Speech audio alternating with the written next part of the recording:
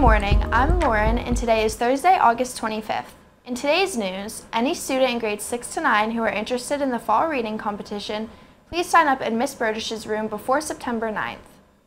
Any high school student interested in signing up for the high school yearbook club is asked to sign up in Ms. Young's room no later than September 1st.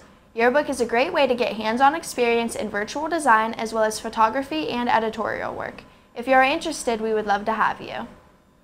High school students interested in joining student council for the 22 to 23 school year should sign up in Ms. Young's room no later than September 1st.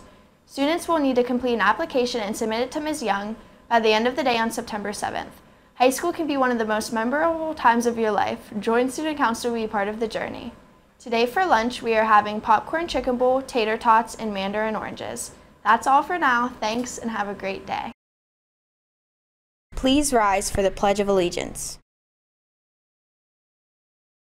I pledge allegiance to the flag of the United States of America and to the republic for which it stands, one nation, under God, indivisible, with liberty and justice for all.